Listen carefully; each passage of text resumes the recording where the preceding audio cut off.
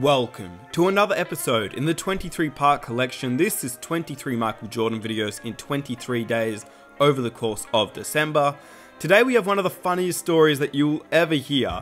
This is the day that when MJ was on the Wizards, one of his teammates trash talked him.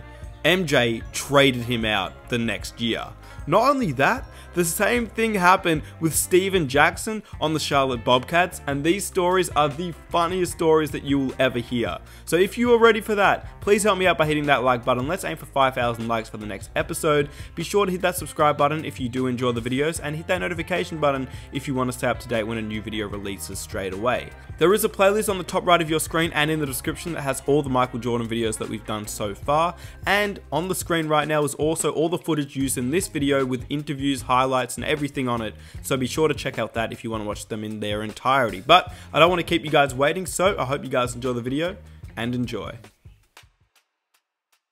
When MJ came, man, it was it was the goat, man. That's that's that's goat status, man. As a two guard coming up, and Mike, you know, being your idol growing up, and now you got an opportunity to lock it up with him and and Mm-hmm. and learn and, and, and get as much information off of him. He had a unique personality. Great to be around. Great to be around. Because even my second year, he used to come down and practice with us all the time, right? But he didn't, you know, every now and then he'd come in and, you know, work out with us. Kind of similar to what he did with y'all uh, when you was on the Bobcat, Shaq. Yeah, You know, he'd right. come down and work out with us. And me and Prof used to play with him all the time. And we used to talk trash to MJ all the time. But it was only certain things that I would say. And I wanted to ask you specifically because you played with Michael Jordan. And then after that, I went and played in the league for a couple of years with Washington. And uh, I remember a day in practice one day and I'm, I'm guarding. And two straight plays, he come down. Like he would dribble two times, pull up. One, two dribble, pull up in my face. And, and he's talking to me as he's doing it. He's also teaching while he's doing it, right? In the middle of the court, he says, hey, Rip, add that to your game. Get that in your game. That's the hardest play to guard. The whole medium range game. The mid range jump shot. yes, sir. But then there was also another side where it was the talking trash Michael Jordan. And you know, Prof would sometimes, you know, say a little bit of extra stuff that I wouldn't just, I wouldn't go there. And I, and I remember one time we were playing in practice, right? And Prof, you know, might have hit a shot on MJ, and he was like running down court. Yeah, you can't guard me with them old ass knees. And I'm like, oh, Oh. Stop, time out, time out. You know, his knee would swell up after games sometimes, and he would have to get him drained. and to that point, that was the nastiest thing I'd ever seen. So they come out with this big needle and they drain it, and like this black tar goo looking stuff came out. You know, but he so his body was just different. I was like, oh, nah. You, you don't you don't you don't say that to the goat. MJ was heated. And you felt it like palpably, Hate to lose. no matter what. No, uh, I heard it, felt it, saw it. It just it wasn't acceptable in any form, in anything. In anything. In anything. I mean, he was heated to the point that when I went to my exit meeting, uh, because you know he was he was the president at the time. I went into my exit meeting. He was like, oh, "Okay, Rip, you know your man, your buddy, you know what I'm saying?" Because he ended up trading Prof that that that uh, summer. he was like, "Oh, your man." He was like, "Oh yeah, he ain't going. He he he out of here." He said, "But you gonna be there by Oh, no. you you gonna be there by yourself." You know what I'm saying? And you ain't gonna have your buddy to to co-sign, and you know you gonna be on the island by yourself. I like look. He was I- still mad. He I was, like- still mad. I was like, Em, I don't want no problems, bro. I don't want no problems at all. I'm your teammate, man. But uh, when, but when he came, I know, to- I know the feeling. I know the feeling. we Jack, got you into know, it. right? He traded my ass too. Shit, I got into it with MJ. Mike. Yes, Mike. Jordan? Mike sunned the shit out of me. One day you might look up and see me playing the game at 50. Oh, don't laugh. Don't that. Never say never. What Jordan? Wait, hold on. the fuck up. Wait, you wait. So niggas really talk shit to Mike? Man, let me tell you what happened. So I was playing in Charlotte, right? Was he? He was. What was he? The he was the owner of the team that you played for. How how did that work out with with you and Mike? Yeah, um, at that time I'd, um, I was with uh, Golden State and I wanted to get traded and they traded me to Charlotte. Mike traded for me. And uh, he was the owner at the time. And, uh, you know, Mike is a competitive guy.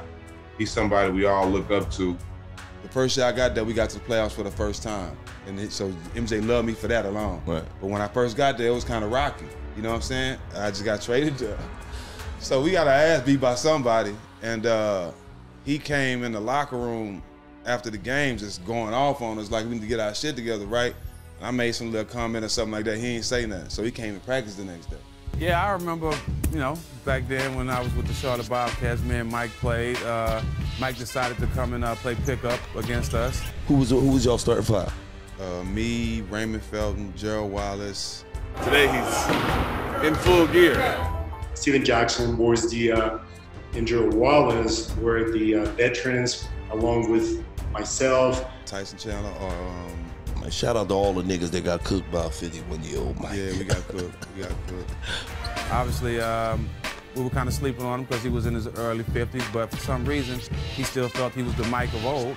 And uh, do you think if you play against some of your guys right now, do, do you sometimes do that or not? Or could you win on one-on-ones against them? Or? I- I'm pretty sure I can, so I don't want to do that and de- demolish their confidence, so I stay away from them. I let them think that they are good, and but I'm too old to do that anyway.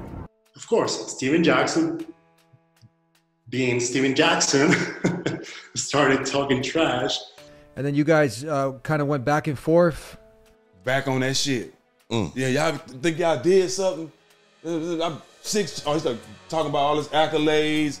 He decided to get in the mix, get in the practice, and try to stir some things up to try to get us going, and it worked. To where me and him had words going back and forth. Take my shoes off, because you know he had gave me. His, you know what I'm saying? He wasn't just talking to me. He was talking because everybody had his shoes off. But he had gave me a deal and all that. Yeah. This shit kind of directed to me and Gerald Wallace because Yeah. we, the, we the leaders of the team. Yeah. You know what I'm saying? Yeah. So he going off. You have to be careful as your owner. You, you don't want to go hard. And I think that Stephen Jackson started that scrimmage by saying, That was the past, this is now, and I will bust yo, you know what. Hey, I will bust you. What's, which is a mistake because and Michael got furious. We'll get to talking shit. Now he'll get serious and start busting our ass. Then it get to the point where we talking shit. Well, He started trash talking to to Stephen Jackson. if I didn't know anything about all Michael Jordan's accomplishments, I knew that day. Okay, he told me about all the championships, everything he's done, sport, points scored, and he reminded me that I was on his team. You know what I'm saying? Look at all the all shit I done done. Y'all was to, I'm just going off on this right to the point where he gets on the second team in practice. And we lose. You lying. You ain't losing 50 year old oh, Mike- Mike. Mike- How old was Mike? Listen, listen. This was nigga, this was in 2010. Mike suited up. Dog, he whatever he had on, he came out there, got on, got on, well, pushed against the guard, whoever Gerald Wallace was guarding, the three guard, kicked him out and got in that spot and played with the second team. Our second team wasn't scrubs now, but he just made gave them niggas confidence through the roof. And he scored a couple points, and to the point where he talked so much shit afterwards, he grabbed the ball and went dunk one on the way out. Yeah, the true story. Ask anybody that was on my Charlotte team, dog. And he came in there and bust our ass. Today wasn't anything other than me getting exercise, so don't take it out of context. His presence is electrifying. And, you know, he's at the point where if he were going to play eight minutes, 10 minutes, I don't think there's any chance in the world I could talk to him into that. But it's a wonderful thought. Okay, so that point, I felt that trash talking was won by him. You're right, I'm on your team. You do pay my check. This is a 50, I think it was 50 or 51, killing, well, all of us during the scrimmage. And talking to Stephen Jackson, telling him, how's the uh, leather tasting in your mouth every time you made a shot on his face? I mean, it was incredible, his competitiveness at that age. It was good for us and it was good for the team morale because we needed that at the time. Tell me ask you, did you feel like shit? I one thing, one thing. Did was you like this old motherfucker Nah, hey, just came in and did us dirty No, like I- this I- and I- dunked I- on the way out? Nah, I'm a real one. I this what I told myself. And you can ask my partners when I got home. That's why you the GOAT. Hey, That's why I'm hey, wearing the shoes. Hey, he, he Mike had to come in. See, I know what you said. You washed up now. I don't want to hear I that thought shit. we on had here. him. Mike show up the next day. Take my fucking shoes off, nigga. Hey. You niggas don't deserve to play in my shit. Hey. You niggas deserve Damn, Mike. to play in something else. Fuck off my. Get out. And of course, he did not end up well for Stephen Jackson. All in all, it was not a good career move because I got traded the year after that. So maybe he was still thinking about it when they traded me. I haven't spoke to Mike since I got traded. That's crazy, man. That's a hell of a joint, man. I ain't never heard Mike came in the locker room cooked you niggas. yeah, so right, right, right after we got into it. you got to be careful. You got to be careful. But when MJ came, man, I, I just thought it was a, a blessing. I remember going back home after the first couple games and you turn on ESPN or turn on whatever, and all the highlights will be Michael Jordan. Nobody else. Nobody else. Oh, not even on the other team. Yeah, just him. Win, lose, or draw. Yeah. It was it was MJ. So even when we come to the game, the cameras was all on MJ and everybody else was over there. So I was like, oh, okay, I'm gonna figure this one. I'm gonna figure this one out, right? Okay, right. So I remember uh, when he when he took the two dribbles, got to a spot, knocked down a shot, and then he was walking off because anytime M hit a big shot, he always put the fist out. If you look at yeah. the history of his game, especially when he was in Chicago, he did it in practice. Anytime he made it, it was about the fist. So boy, oh boy, when I seen him make that shot,